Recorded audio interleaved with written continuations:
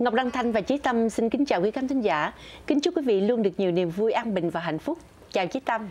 Chí Tâm cũng xin kính chào tái ngộ đến quý vị khán thính giả và chào Ngọc Đăng Thanh. Chí Tâm ơi, hôm nay mình à, sẽ nói về đề tài gì đây? À, vâng thì lần trước mình à, cũng thực hiện chương trình với chủ đề là các loại ngâm hò. À, nhưng, nhưng mà, mà mới có hai kỳ rồi ừ. mà mà chưa có hết các loại ngâm hò Việt Nam nên chắc là hôm nay mình phải nói thêm về đề tài này để cho quý khán thính giả cùng thưởng thức. Phải rồi vậy thì à, cái chương trình này là các loại ngâm hò kỳ ba. À. Yeah. Bài thơ Bước xuống đèo ngang của bà huyện Thanh Quang ngày hôm trước á, mình ngâm gấp quá, chưa có nghe hay cho nên uh, hôm nay mình sẽ ngâm lại. Hả chị Tâm? À, vâng, thì như đã trình bày hôm trước đó lúc xem ờ, thầy Trần Văn Khê ngâm thơ bước xuống đèo ngang của bà huyện bà huyện Thanh Quang, thì thầy lại ngâm theo cái lối hơi xuân và hơi ai, nghe rất là hay. Thầy Khê còn phân tích là phải chia ra làm hai phân đoạn như vậy, thì ờ, mới tạo ra cái bài thơ nó hay thêm ờ, hay thêm được.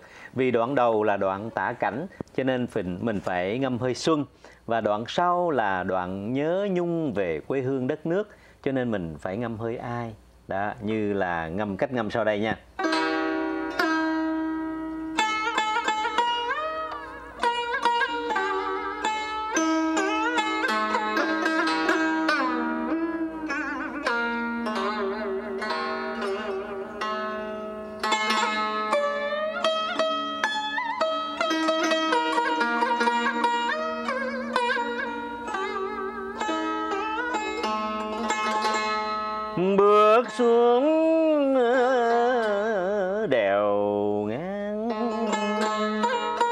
Bông xế. Tàn có cây chen đá lá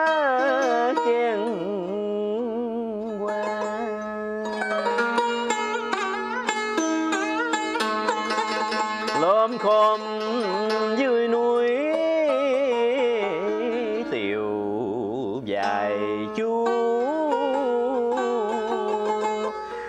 đạc bên sông chờ mấy nhà. Ừ, cái đó là là ngâm điệu xuân, xuân. à còn giờ là ngâm ai?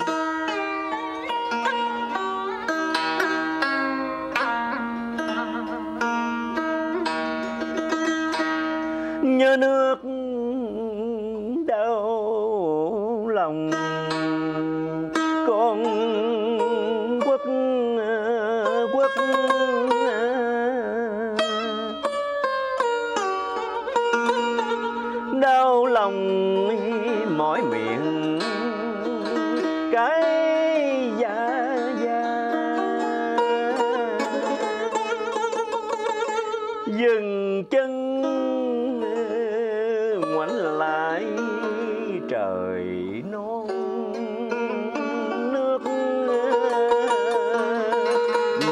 mảnh tình riêng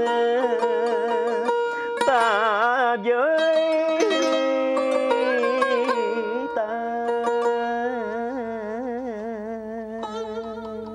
xuân nó cái xuân cũng hay mà cái ai nó cũng hay. Đúng rồi mà cái cái xuân hay cái nó hay mang mát Ừ. nó cũng ờ, buồn buồn mà mang mát à, cái giữa lúc mình đi chơi cái cảnh đó thì mình ừ. uh, uh, gọi là động lòng với à. cái cảnh đó tức cái cảnh hữu sanh tình, tình. Hữu tình tức cảnh sanh tình cho nên bà Nguyễn Thanh Quang mới làm ra cái bài thơ hay độc đáo như và bất hủ để lại cho đến ngàn sau con cháu cũng vẫn khen à, sau khi ngâm bài thơ này rồi thì mình mới nhận ra là mình không tuân thủ theo thứ tự từng miền ừ cho nên mong quý vị thính giả cũng khán thính giả cũng thông cảm cho nhé. có được khi bắt gặp một bài nào hay á, thì mình bèn đem ra ngâm phải vậy không? Đúng rồi.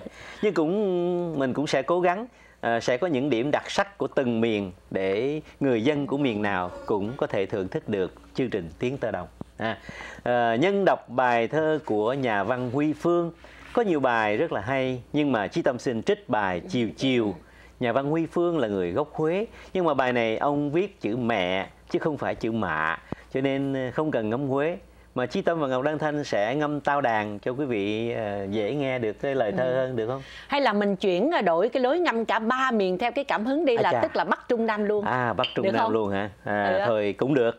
À, trong bài này thì có 7 đoạn thì lần lượt mình sẽ ngâm nào là sa mạc, nào, nào là bồng mạc, nào là tao đàn, nào là Huế và cả thơ miền Nam. Đúng nha. vậy. Bây giờ bắt đầu trước hết là bài à, bằng sa mạc trước nha. Ừ. Chiều, chiều ở nơi đây. Đúng rồi. Chiều ở nơi đây không có khói sống xa, không nghe tiếng, sông buồn sao con bỗng thấy lòng rái rứt nhớ quê nhà, bếp lửa chiều hôm rồi tới bồng mạc. Tới bồng mạc nhà nơi đây không có ngõ sâu biết chừng à, quê mẹ ở nơi đâu. Bồng bình mây trắng trôi trăm hương mỗi hướng lòng con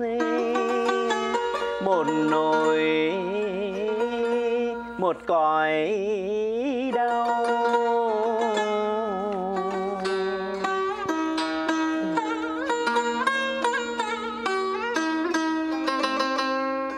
đêm qua hay là Đêm. lên, hay là đêm lên cao này. đêm qua đêm qua mẹ, mẹ có, có thường, thức giấc tao đàn mà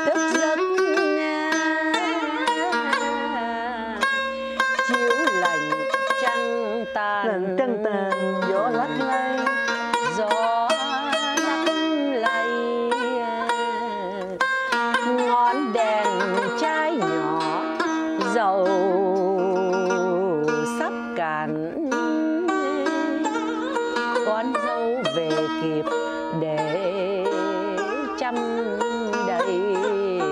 Con đâu về kịp để chăm, để chăm đầy, đầy cái, cái đèn dầu đèn dầu của mẹ. Rất là hay ha. Dạ giờ tôi huệ. Rồi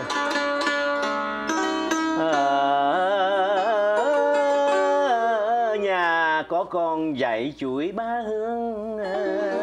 Mùa này còn có gạo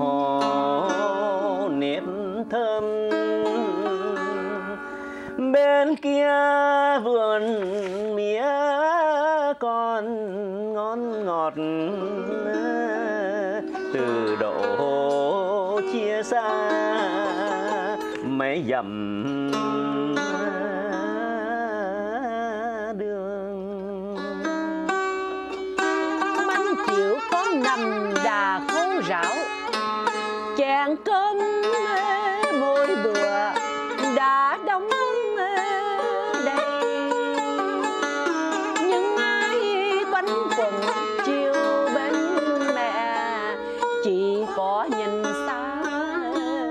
một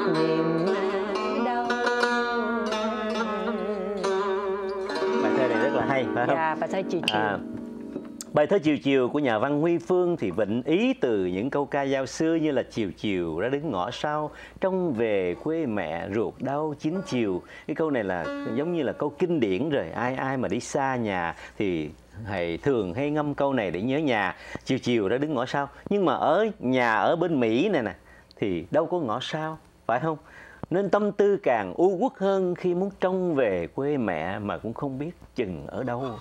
Hay là cái câu mà manh chiếu con nằm giờ khô ráo?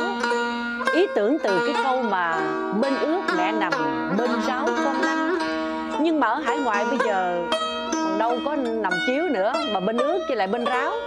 Khô ráo cả vật chất lẫn tinh thần khô ráo cả không gian không lẫn gian lẫn thời, thời gian. gian lại một bài thơ khác nữa cũng hay mang đậm tính thiền học của sư tịnh đức ở Dallas. Sư ở Dallas ở chùa Quang Minh phải không? dạ không chùa đạo quan chùa Đạo Quang chùa Đạo Quang ở Dạ. Dallas.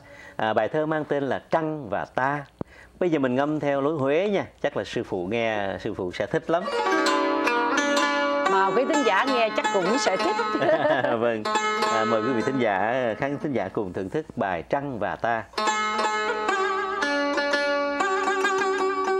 Trăng à thôi lên cao đấy Trăng lên cao không nổi. Trăng từ nguyên à, thủy gặp Trăng từ Nguyên Thủy gặp ta.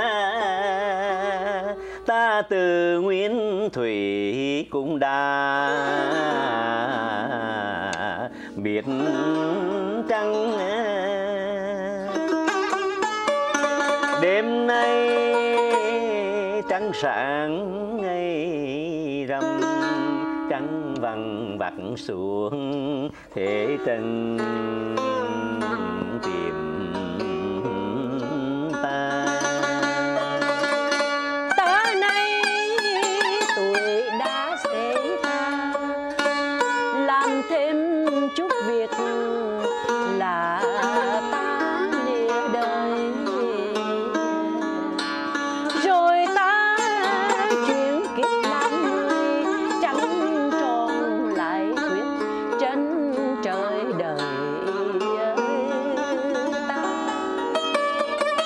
Tỷ tỷ năm sáu, trăng vỡ vụng mà. Ta lang thang giữa ngân hà, tìm ờ, trăng ờ. Thế gian đâu có thường hằng, Có sanh ờ, có diệt, Có thăng